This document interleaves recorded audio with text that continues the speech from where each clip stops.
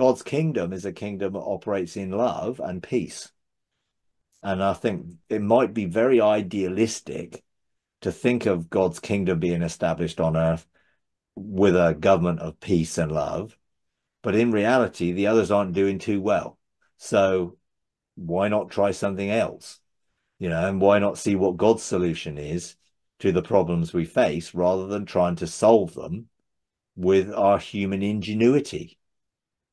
You know, and yeah, they may well enhance life and people will live to two or three hundred years of age because of technology. But I don't want technology to solve those problems. I want to live in what God intended rather than because what happens when they start monetizing the technology and charging you more than you can pay? You're going to die. You can't pay up because someone's going to make money out of it.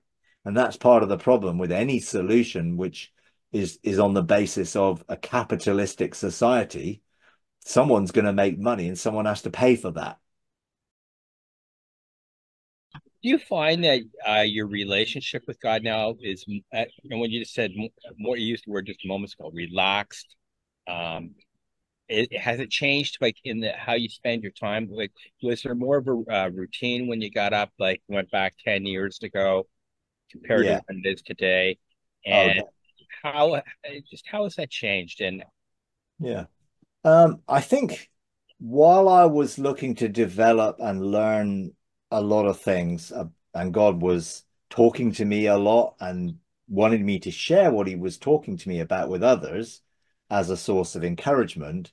Then, you know, a regular time to engage with Him and give Him that sort of quality time, uh, which gave an opportunity for the conversations and the journaling and all the stuff that went on. Um, and that was fine, and that that was part of the journey, and and I look back on that with fond memories and you know and i think that probably continued up until um 2021 i think maybe. And then when he said stop doing the vision destiny series it was like oh okay i'll stop doing that but i carried on engaging. And then one day he said why are you carrying on journaling stuff if i don't want you to share the journals? I'm like oh okay. I never thought of it like that. So so it was like, well, what do you want me to do? He said, well, just just enjoy. Uh, and so I that sort of was part of a process of the union of relationship. And when I learned to dwell in the presence of God in his personal presence, not not just in the general presence of heaven, but face to face and heart to heart, in that realm of light uh, and I engaged in the realm of light, and it became therefore a more of a cardiognosis, knowledge of the heart, which was infused by my dwelling there and abiding there. I didn't really need specific information and conversations because we were one. You know, we were in union. So it didn't require the same communication style that I had when I was journaling um, our conversations. But I find that I know things, um, and I just know those things from more of the heart of the Father. And I think my relationship in love and unconditional love and first love and all of that has changed dramatically over that period to become a state of being rather than me doing something in the relationship. Now I enjoy the relationship. And that relationship, therefore, has also become part of everyday life in that I feel the Father's pleasure of me enjoying life. Um, and I feel he's with me and I'm with him all the time. Therefore, you know, I was in the garden this morning. I planted some lettuce out that I'd grown and a few some, some tomatoes and stuff. And and as I was putting them in this raised bed thing that I made, like a planter, I just felt the father's pleasure on that. And it was like, yeah, it felt like, oh, yeah, that's my boy. In that I'd made the planter, I'd grown the seeds, I'd done all this stuff, and it was part of my creative identity. Um, and and I sort of nurtured and tended those plants, you know, and I and I was like putting them in the in the in the planter And I just felt God's pleasure on it. And I felt as I looked around and I saw the cherries on the cherry tree all growing, and I just felt that connection to creation in that it's not a, well, you've got to do this and this and this today. You know, there's a sense of I'm being in this relationship rather than, well, I'm working at it or I need to do this or what should I be doing? And I think that's changed from my understanding of my destiny and my scroll from, well, here's all the things that you're going to be doing to, well, this is who you are. And everything you do from who you are is part of your scroll. But there isn't a list of things. There is just the being who I am that unveils something which is my sonship in relationship with the Father in that way. So things have definitely changed. And that I don't get up and have a quiet time with God every day because He didn't want me to, you know, because that would be going back to what the relationship was. No, if He asked me to, of course I would. But I don't need to because I'm aware of His presence all the time and I'm conscious of His love for me and the joy that I feel. And so, you know, that whole living loved dimension has taken a completely different perspective. And I look back and see lots of different perspectives where I start with learning things and discovering things and finding out how things work to that becoming I am becoming that which I learned and now that is me. I don't have to think about, well, I've got to do this or this. Or, I, it's just who I am. And therefore, that is my state of being now. So the whole multidimensional reality of being in multiple places, doing multiple things was part of that discovering, hey, I don't have to be doing all of this stuff all of the time. I am doing it. This is who I am in that sense. You know, I'm multiple places doing multiple things, all out of the Father's heart and I don't have to be, you know, cognitive of it all if I don't want to be. I'm, but I'm aware whenever, and I'm and I'm still connected to all of that because that's who I am. You know, my spirit might be doing it, but my soul is still connected, and therefore I'm still benefiting from all that I'm doing, and I can, and I'm aware, in a sense, of things that I didn't know in a cognitive sense I am aware that I talk about things and I'm talking about it from a different perspective. And I didn't learn that in a cognitive way. I, I just received that in my relationship. The Father's heart revealed it. You know, when Jesus only did what he saw the Father doing, it wasn't, uh, well, Jesus got up early and went and found the list for today. He was continually engaged with the Father. The Father was in him. They had a relationship that freed Jesus just to be. You know, and of course he had things that outworked who he was, ultimately, you know, taking on our death and all of that. Um, he was aware, but it, it was all in relationship. And the father, you know, I love when the father sort of said, This is my beloved son in whom I'm well pleased. You know, in reality, is he hadn't done anything particularly at that point at the beginning of his ministry, but the father wasn't pleased because of what he was going to do. He was pleased because he who he is and who he who who he is as a son, and the relationship that they had. And I think that's what's changed. I think I I am enjoying living life in relationship with God in a state of conscious awareness of that relationship, which gives me a better connection to creation because I'm enjoying for me that that does mean the outdoors and the garden and the workshop and doing things and making things and just you know and I like I like that. And I know the father likes that you know. So I'm always looking for the next project because I enjoy making stuff. But but if I didn't have one I wouldn't equally feel a problem with that.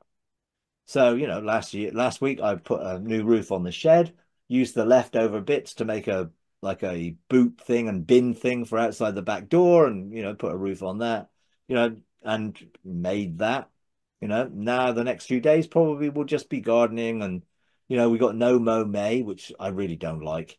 You know, the, the lawn's a mess, but Debbie likes it. No mow May, all the buttercups and the daisies are all growing, and I'm like looking at it and thinking, oh, I hope anyone doesn't see this. It's a mess, you know.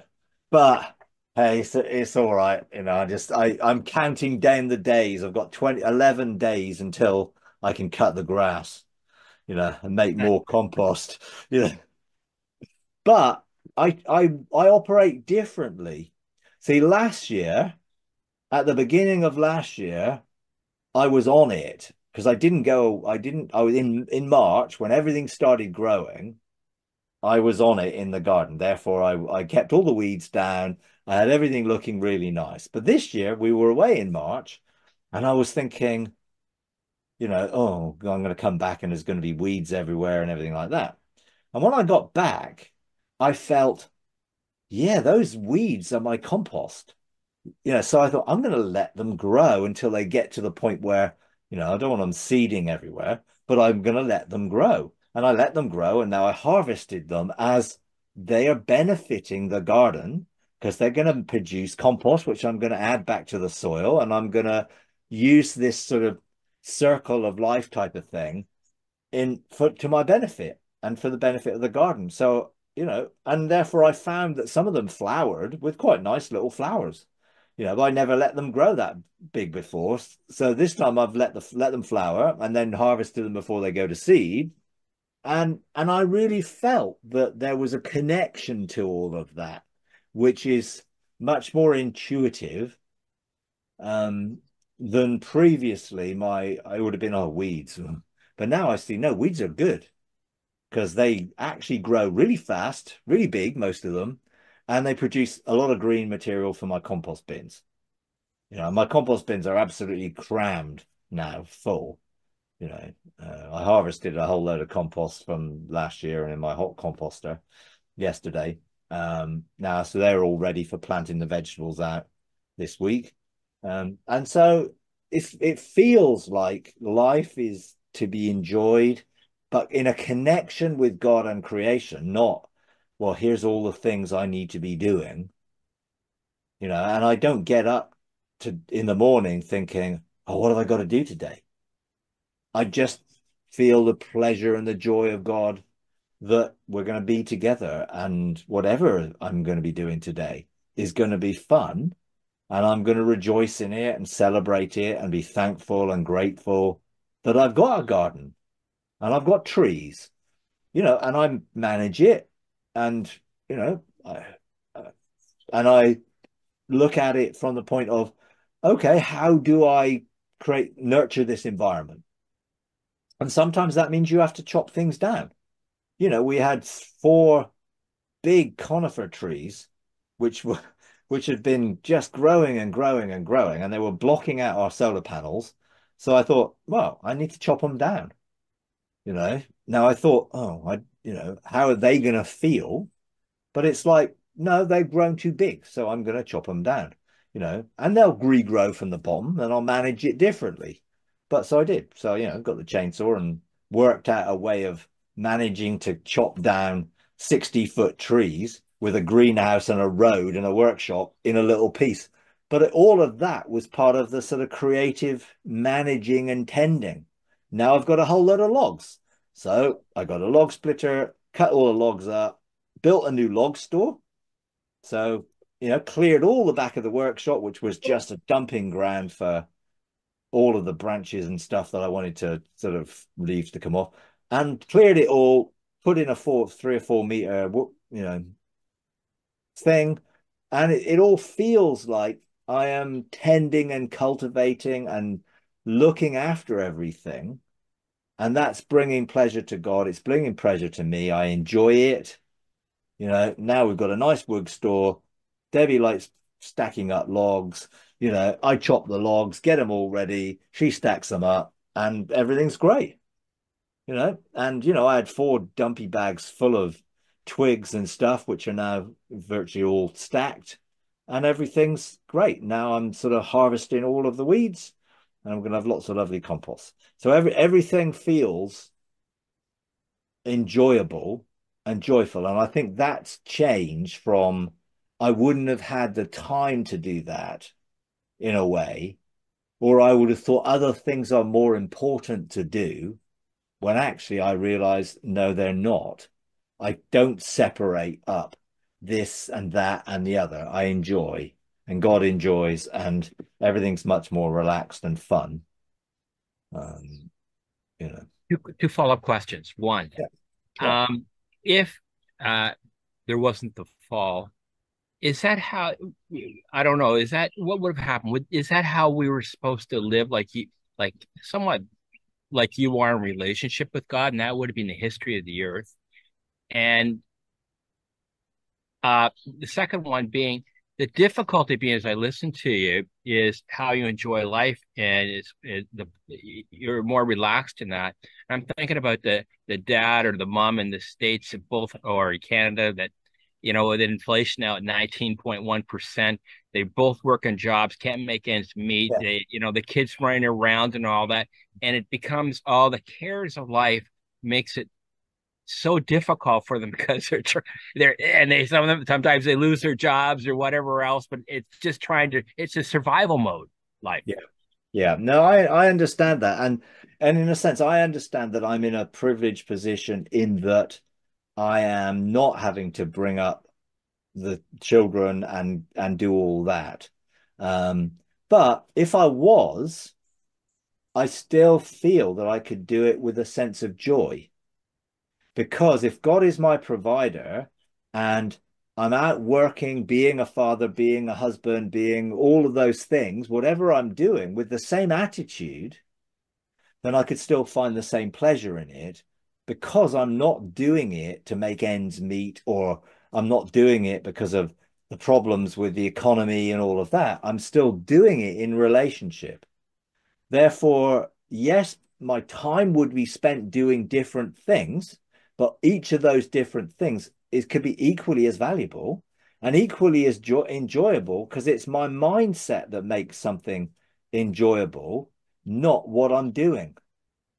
You know, I'm digging a hole. Most people would, wouldn't find that enjoyable, you know, because mm. it's like, oh, it's clay. I've got to dig all the way down and make a pond, you know. But while I'm making, while I'm digging the hole for a pond, which we now we've got the pond, I was looking forward to the enjoyment of what I was doing, even when I was doing it, and it was really hard work, and you know, and the, and you know, it was so funny. I mean, I dug four feet pond, this big pond, the four feet, because I wanted to sort of have it deep and whatever in some places. I would have came over to help you build it. and it was so much funny, funnier that I got to the last bit, and this the next door neighbor came around and said, "Oh, I've got I've got a petrol auger you could have used to to dig down all of that." So I thought, see, oh, do you want to do it for the last foot? I thought, well, okay, thank you, thanks. You know, it'd been really nice if you'd said that three days ago. But actually, you know, but I did. I used the petrol auger to dig down the last foot or so because I could dig down easier with this thing. You know, but I was looking forward to the enjoyment that it would produce, not the hard work of doing it. So yeah, when you're bringing up children and you got you got job and you're trying to make ends meet and all of that stuff, it's the mindset you have towards it, I think, which is important. It's not what you're doing, it's how you're doing it and with what mindset and attitude that you do it with.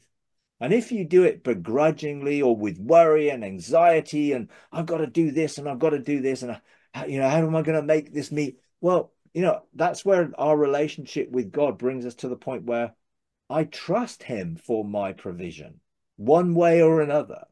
He will provide for all that I need and for an abundance of every good deed, which means I can be me, you know. And I understand that there are times in life, you let's say you're homeschooling four children, you are going to have a lot less time than a person who's retired or at an age where they're able to relax.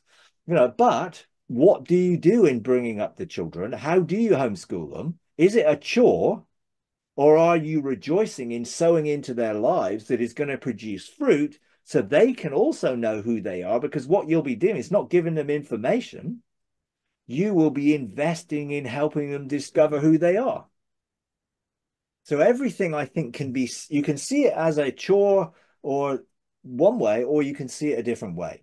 And if you see it and find the joy and the thanksgiving and gratitude in it, no matter what you're doing, can still be from a state of um, where you are seeing, feeling, and sensing God's pleasure in what you're doing, even though you might think, well, I haven't got enough time for this. And, you know, I'd like to spend more time with God. Well, you are spending time with God.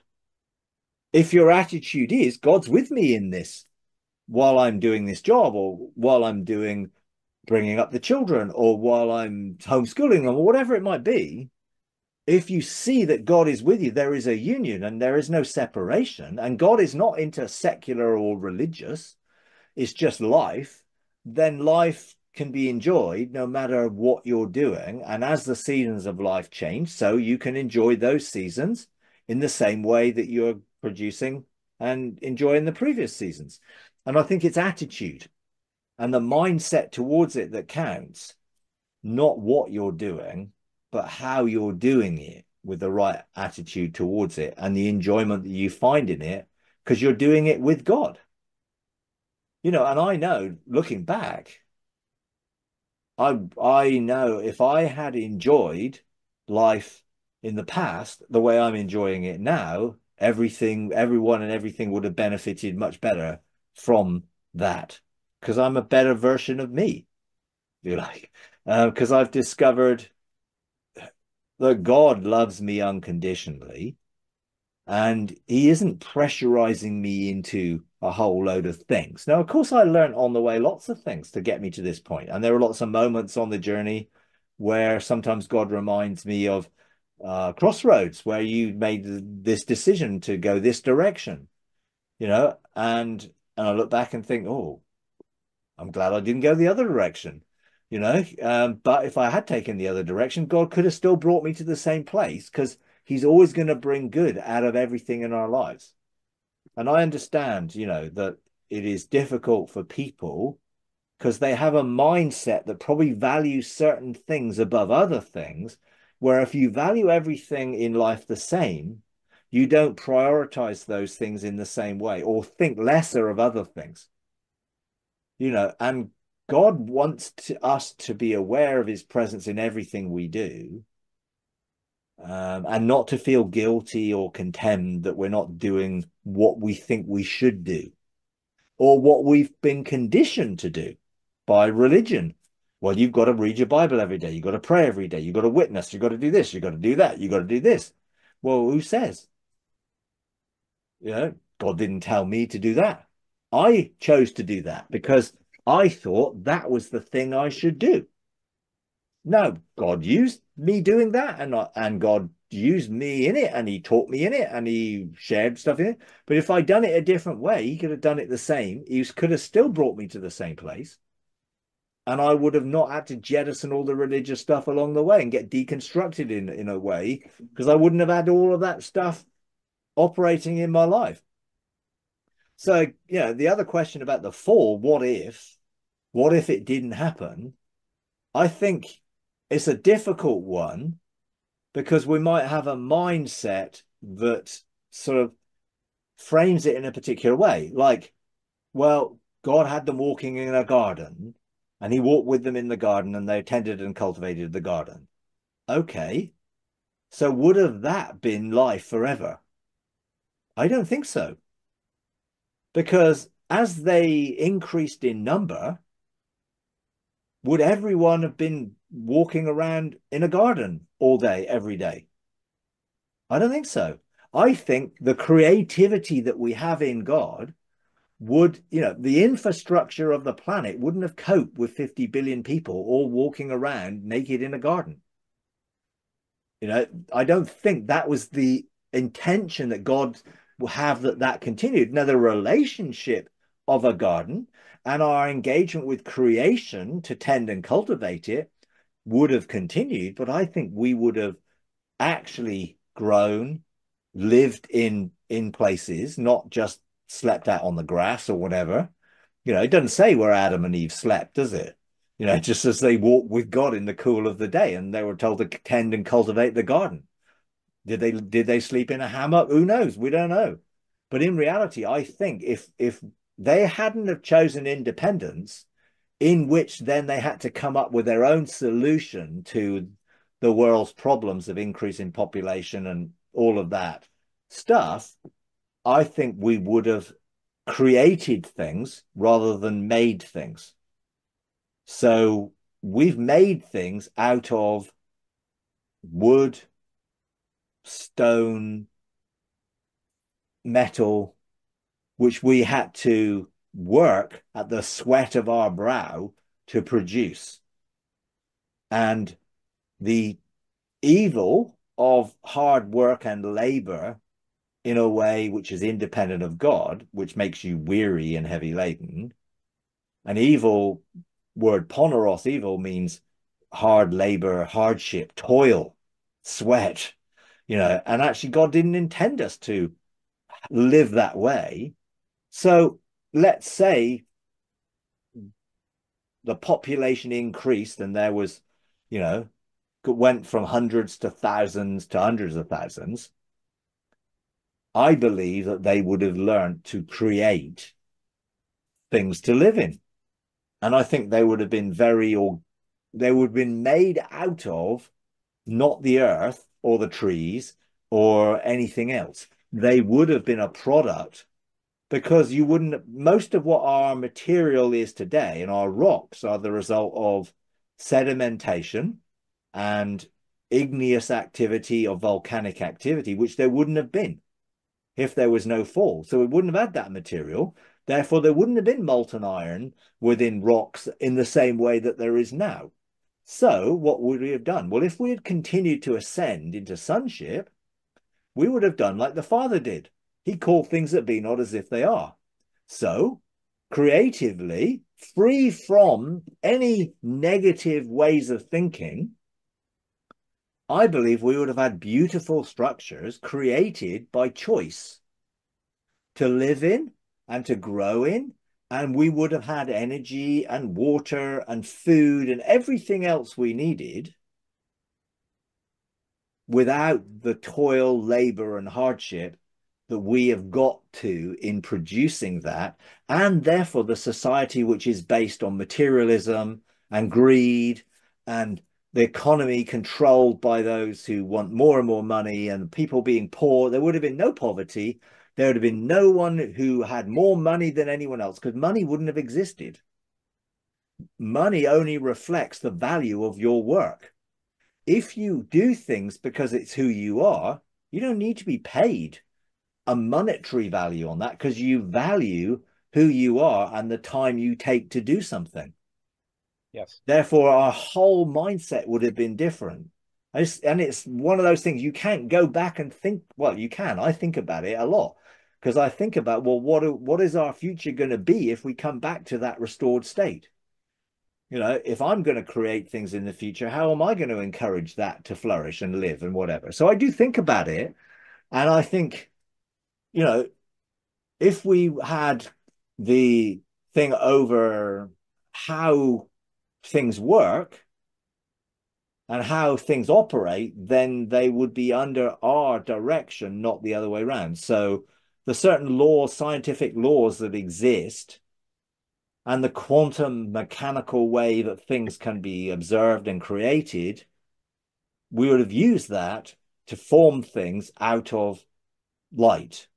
And they would have been beautiful and they would have been perfectly functional and we would have had buildings that looked very differently from our buildings today which we're using out of material and we may well have lived in in ways um, which are very different from today but i think we would have also by now been on other moons and planets and we would have expanded because we had access to the gateways that took us to other planets and would took us around the universe. And we would have taken that place of peace and joy once we had completely heavenized, if you like, this planet, we would have continued to other planets and we would have increased and multiplied and taken God's government of peace out into all the other things and the dimensions also we would have been able to engage those dimensions in a way which we've not been able to because of the nature of our fall and the fact that our fall affected those other dimensions in negative ways which wouldn't have done because it wouldn't have happened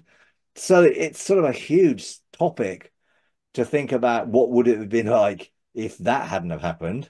Um, but I I do do it sometimes, and and people ask questions about it sometimes, and I think, well, we can't come from our present understanding and try and do it in a way that leans to our understanding, which has been created out of our past experience, because we wouldn't have had those past experiences.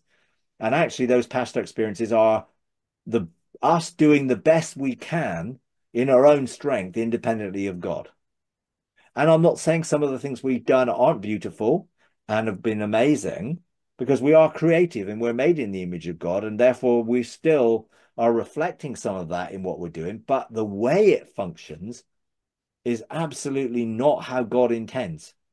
You know, the way people live within the societies that we've created, where there's such inequality, where there's such degradation and sickness and disease and poverty and all of those things, there would have none, been none of that.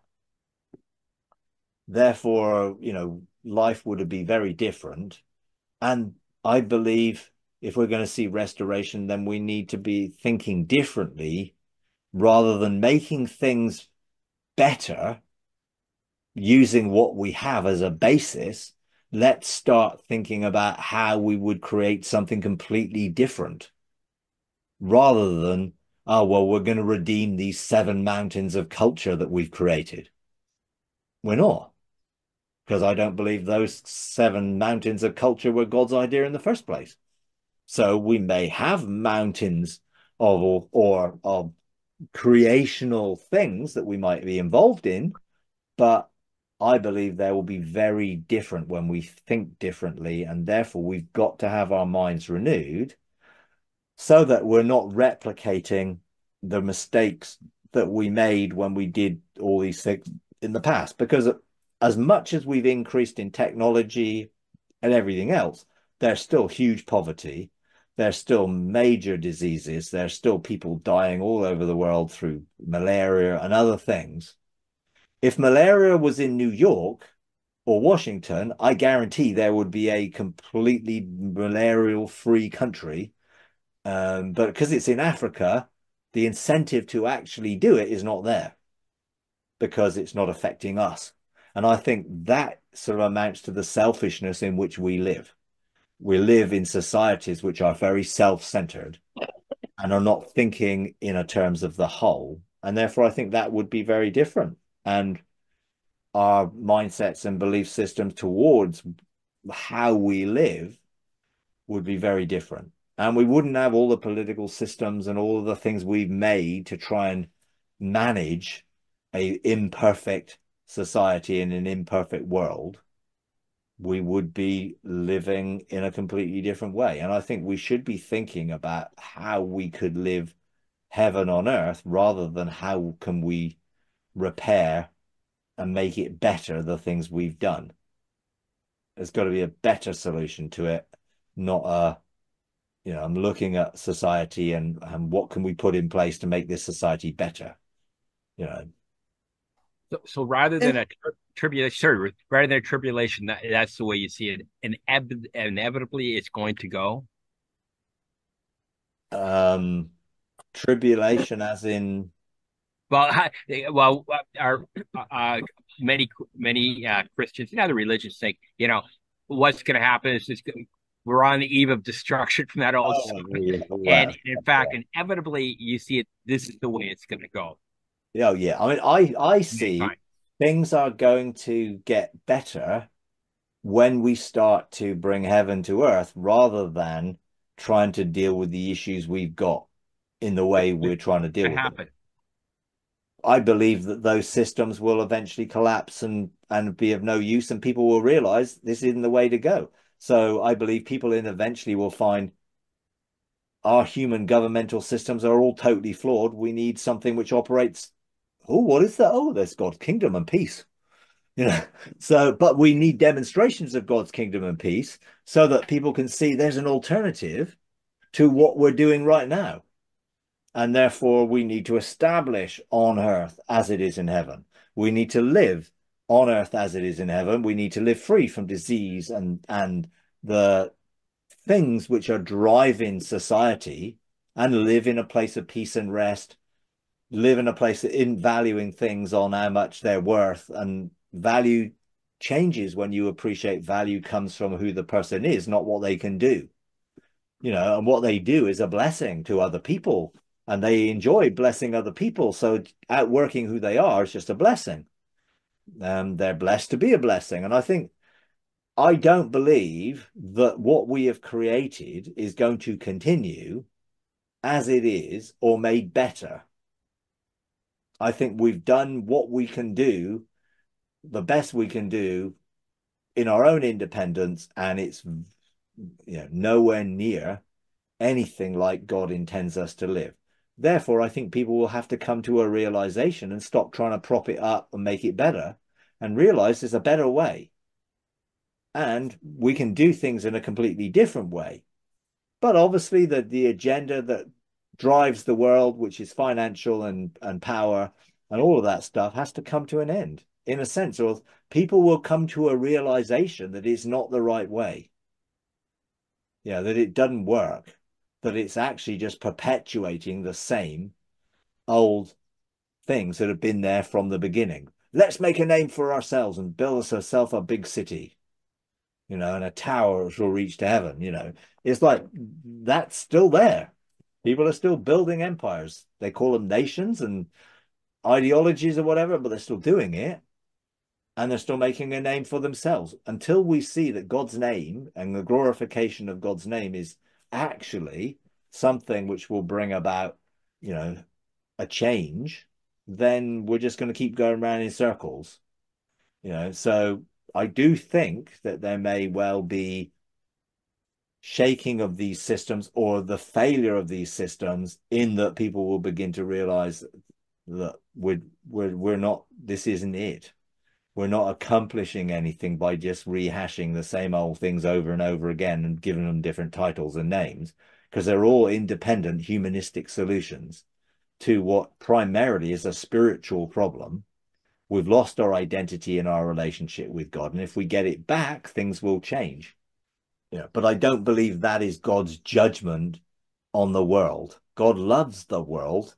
He Jesus came to take away the lost identity of the world so the world could be re-established in a new identity as a new creation in Christ. You know, that still needs to take place. Therefore, an awakening to the world, to who God really is in love, will be what facilitates, I think, people turning away from those old humanistic systems and looking to establish and see God's kingdom established on earth as it is in heaven. I think it's interesting how you said about malaria because I heard uh, uh, on the news about uh, um, the Americans are complaining about the open border and a lot of malaria is coming up from South America. well, if the big pharma companies turned their attention towards eradicating malaria, free, then it would soon be eradicated. But of course, the third world doesn't pay much money, does it? So, but once it starts impinging on our territory, maybe there'll be more incentive to try and find solutions to it. And they have solutions. Yeah. They can genetically change malaria DNA to actually make it that it is doesn't carry disease. You know, they can do it. There's just no incentive to do it yet, but maybe there will be. You know, but they're more interested in keeping people out than solving the people's problems who are, who are out. You know, if they did dealt with malaria, then they wouldn't be worried about people bringing malaria into the country and all that. You know, and and sort of and as climate changes, and if climate is getting hotter, well, maybe there'll be more that stuff starts to come in, and therefore there will be more incentive to help find a solution to it you know but ultimately if creation is brought back into harmony and balance then there won't be malaria because those insects won't bite us.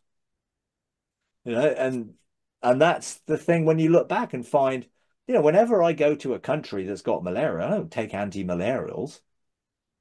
You know i just i just know that that i'm not going to be bitten. And i've never been bitten. Even though people I've been with have been bitten, I've not been bitten, so I don't bother with malaria or anti-malarials, you know. And because my mindset is towards, well, why would those things bite me? They'll die if they bite me. They're not going to bite me. The same thing as, you know, um, the thing where the plague thing, yeah, where where John is it John G. Lake and the whole thing with the plague, and it's like he went in and tended to people with plague because no one would want to do it, and he just said, "Well, look, see what happens when plague stuff touches me, dies." You know, so he didn't have any fear associated with that type of thing, and I think, you know, ultimately, you know, we need to make sure that we're not driven by fear uh, in any way, and people are still operating very selfishly and in self-centered ways and looking at, you know, what benefits me the most. And I'll want the best system in place that benefits me the most rather than a system which benefits everybody and the rest of the world.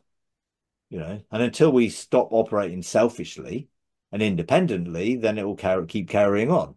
And we won't find a solution, you know. We've obviously got uh, we've got an election this year. The US have got an election this year. You know, you've got a whole thing of oh, well, is this going to bring about any change? No, it won't. No matter who's in, it's not going to solve the problems. You know, there may be slightly different orientation about what priorities they do things. But, you know, why do people want a particular political system? Generally, because they think mostly that it benefits them. You know, I was talking to a lady the other day and we were talking about, well, you know, why do you vote and this, and change? Well, I said, well, originally I would have voted on the basis of conscience. Um, then God told me to vote on the basis of whatever He told me to do, which is what I'll do now. Um, and she said, "Well, I vote on economics." So I said, "Well, is that is that a godly thing, or is that something?" Well, I'm an economist. I, I did a degree in in economy, you know, in economics. Oh, so so you're so you're voting on the basis of the the party that will produce the best economics for the country. Okay, well, if that's what you want to do, fine. But I would maybe ask God what he might want you to do and not just assume it's going to be based on economics. But who knows? You know, at the end of the day, none of those systems are going to produce the changes that are required to bring about a society which is living in joy and peace and rest. Because, you know, whenever you've got a two party system, pretty much you're gonna you're gonna disappoint half of the people, and you're gonna have half of the people very disgruntled because their party didn't win, and therefore you got division. You know, it just doesn't work. You know, but it's probably better than a dictatorship because that's all on the basis of one person's desire. You know, um, and other systems don't work either because people are imperfect and they don't work because people can't make them work. You know, so ultimately, God's kingdom is a kingdom that operates in love and peace. And I think it might be very idealistic to think of God's kingdom being established on earth with a government of peace and love. But in reality, the others aren't doing too well. So why not try something else? You know, and why not see what God's solution is to the problems we face rather than trying to solve them with our human ingenuity. You know, and yeah, they may well enhance life and people will live to two or three hundred years of age because of technology. But I don't want technology to solve those problems. I want to live in what God intended rather than because what happens when they start monetizing the technology and charging you more than you can pay? you're going to die. You can't pay up because someone's going to make money out of it. And that's part of the problem with any solution which is is on the basis of a capitalistic society. Someone's going to make money and someone has to pay for that. You know, and I guess, you know, if if there is technology which will enhance life and people are going to die without it, well, I guess it's better than not having and dying. But ultimately, I think we need to find a solution in God rather than in our own ingenuity. And I know people will say, well, that is God giving us that. Some of that might be true that he does inspire people, but actually, most of what gets inspired ends up in making people money and other people end up being poor. you know, and I'm not really sure that's how God intends discoveries and inventions and things to be used. They should be there to benefit people, not to benefit a few, you know. Um, but yeah, we're in this transition. So it's hard when you're in a transition to see something different while you're still living in what is present. Which is why I think we've been given an imagination and the ability to dream and to think differently and not be constrained by the past. You know, but look to a different future. You know, choosing the future that we want to live in in alignment with God's heart rather than being restricted to staying where we are and living in what we've got. But even being said, I still enjoy life. You know, it may not be ideal and perfect in a global sense, but I still live within my own created environment, if you like, because I choose to manage my environment in a sense of peace and rest. But I obviously don't want to live in a bubble which other people are not able to live in. I want everyone to live in a state of joy and peace and rest, which means infiltration of leaven into the whole lump ultimately, which is to me one person getting it and finding who they are in God at a time until it increases and increases and increases until more people are choosing God's kingdom than are choosing their own, you know, which is coming you know, because it's increasing. It may not be increasing at the pace we'd like it, but actually we we've got to demonstrate it in such a way that we bring to choose that reality of awakening people to God's love.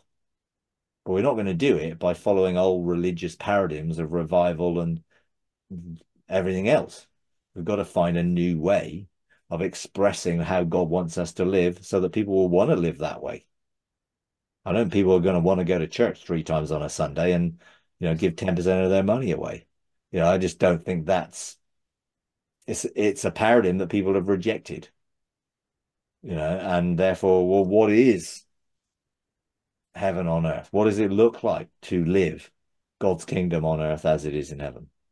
Well, I've got to work for my life first.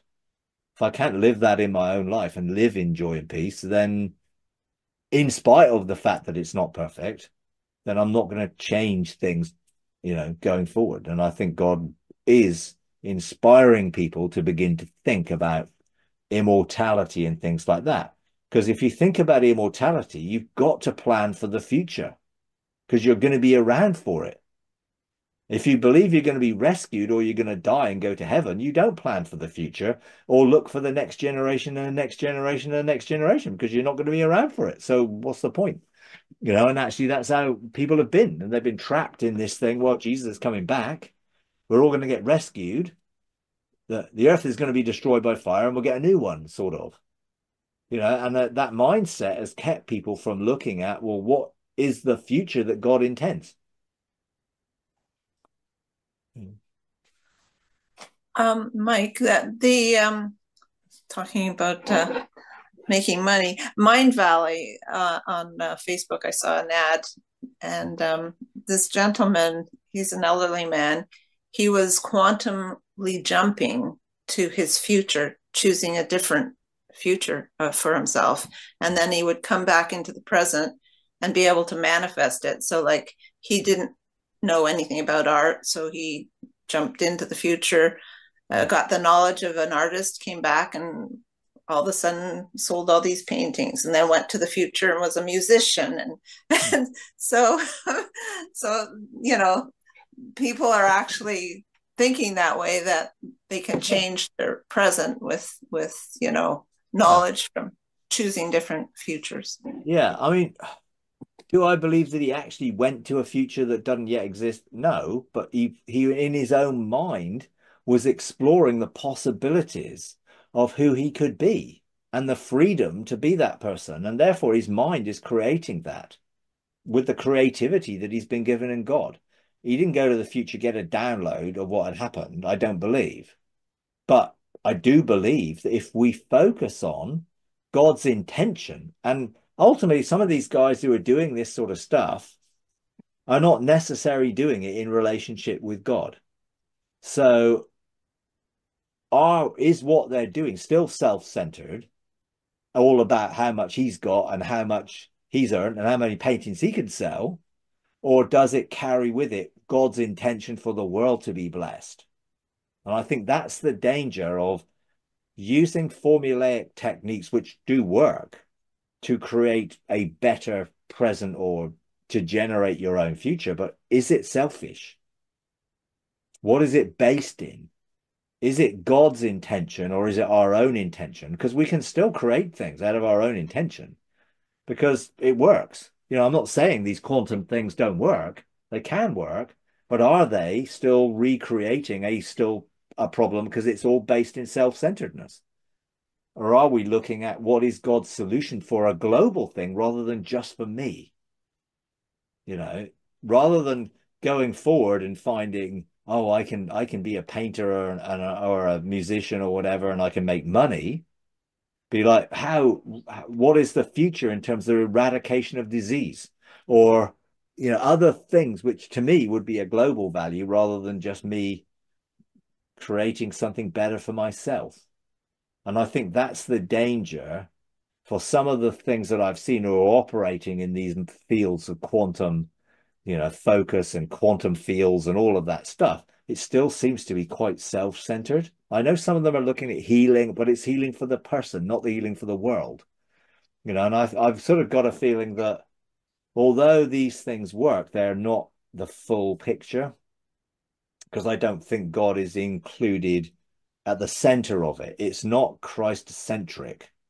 You know, it's still self centered. And I still think it's a manifestation that comes out of the tree of the knowledge of good and evil, even though it might be using some good knowledge. It may not be totally how God intends us to use that knowledge, perhaps. I don't know. You know, I don't really sort of follow those sort of people, but I know people who do, and I'm aware of their names, and I'm you know, but it doesn't have, for me, it doesn't have anything that draws me to it as a frequency, as a, I don't want to resonate with it, even though I can see that people could use those things and actually work it. But are they working it in for God or are they working it for themselves? Yeah. Like you were talking, it seems like imagination is important imagine things and, and and you go into flow i guess with god. And interesting enough with our seven year old granddaughter was with us yesterday debbie and i. Mm. and uh it was in early in the morning like eight o'clock or whatever. She turned off the tv she had some cartoons on and she said let's go to our, our my garden. Mm. so we said okay. And debbie's on one side i'm on the other side and she said, let's go first year's, Grandma. We went to hers. And then we went to Papa's. And then she said, mine. Now, here was the interesting thing in her garden. She brought us to a place, and I don't know if I was, but I might have gone into her imagination, but she always has dreamed, wanted to go to places like Walt Disney World. Mm. And she had created rides in her garden, which I thought my religious self would be like, oh, this is cat curring or something. You can't be doing this. And I thought, no, but she's using her imagination. I said, and we were talking away, and I said, do you go to your garden often, sweetie? And she said, oh, when I'm at school, I go to my garden. I go to my garden. And I thought, well, that's probably the way God starts with little kids. I don't know. Yeah, why not? It, it's very different from actually man seeing heaven looks like that, which it doesn't.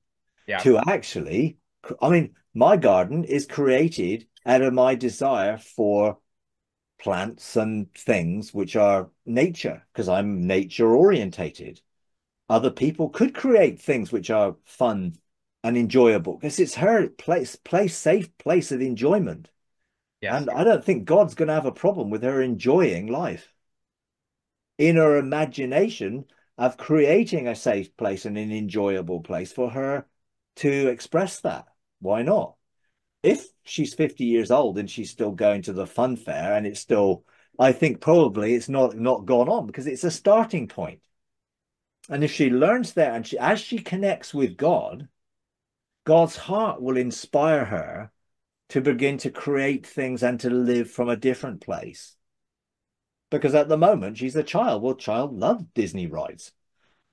You know, why wouldn't you want to create something like that to enjoy? You know, and actually, maybe she'll become a, desi- a ride designer. Who knows? You know, if she follows, and that could be something which is her creative expression. But if she continues to develop her relationship with God, God can share his heart with her.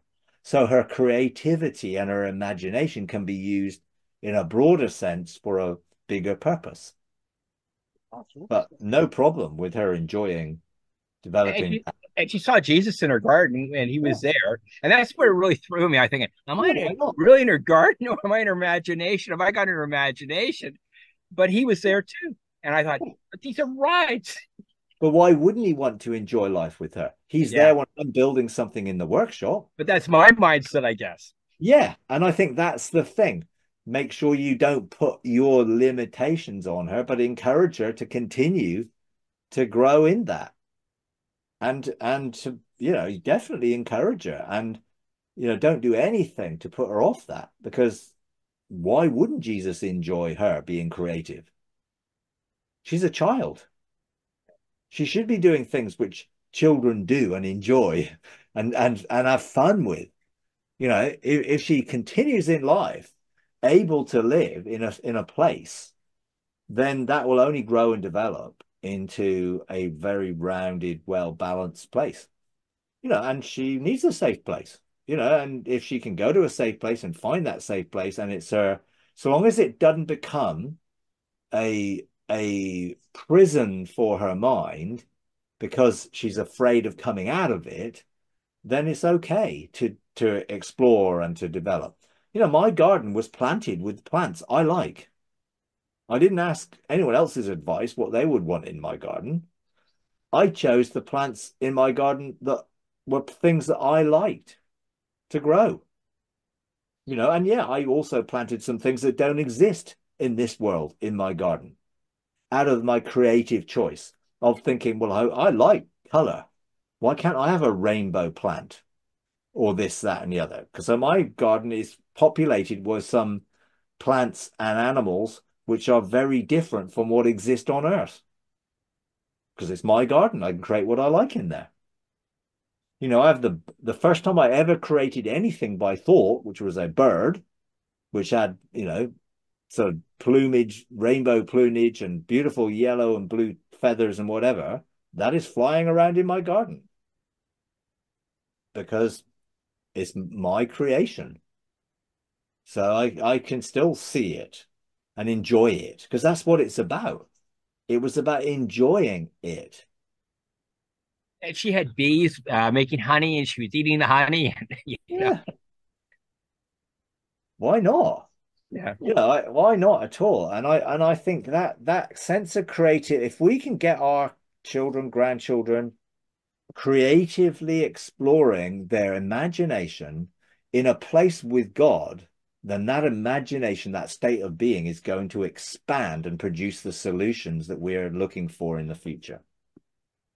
Because there'll be creative solutions, you know, um, but in tune with the heart of God.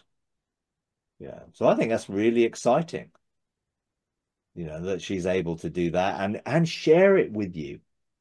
That's the thing. You get to share in her joy, which is wonderful. And she probably look at your garden, oh, it's a bit boring in here, you know. yeah, one- one- Mine's reli- my garden's religious. yeah, yeah. Oh, it's like, what's this? Yeah. It'd be funny, wouldn't it? It's like, well, can you can't you make some something in here for me? But in my garden, the first experience of my own garden, what was it? A tree with a swing that hmm. I sat on, and God pushed me and swung me and gave me fun.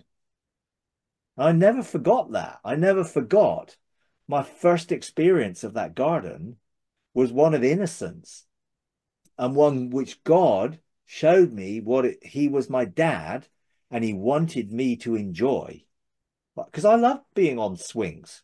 You know, my intention was could I ever go right round? Obviously, you know, the physics is you can't, you know, without a massive push from something external. But actually, in my own mind, when I was a kid, I used to try. You know, I used to try and get as high as I could possibly get on the swing. you know. Um, but God knew that. So God pushed me. Now he didn't push me all the way all the way around. But I had that experience with him in which he took something which he knew I enjoyed and he shared it with me in that place. You know, which I think goes to show God is not what we think he is. Yeah. Um, you know, he takes the time to spend with us in enjoyable moments, which that was, and that set the pattern for my garden. You know, I enjoyed it and I celebrated it. You know, and I, you know, went on the river of life and floated around in it. You know, and actually that was a process. Well, not that I knew it at the time, but that flowing where the river went took me to places of knowledge and identity and destiny and transformation. You know and it started with the relationship within the garden of my heart which was god saying i want this intimacy of relationship with you. You know and it felt that way. You know it was it was such a innocent sort of start to know knowing something I didn't know anything about. I didn't know I had a garden in my heart. Yeah. It's like, and I didn't even know that was where it was when I was first in it with God. But when I asked him, that then set a pattern for my life and being able to cultivate and tend it and grow it and use my imagination to generate things that later on will be are and will be part of everyday life of choosing to create realities to live in. If you enjoy these videos, would you please take a moment to like, comment, and subscribe? It really does help. Thank you very much.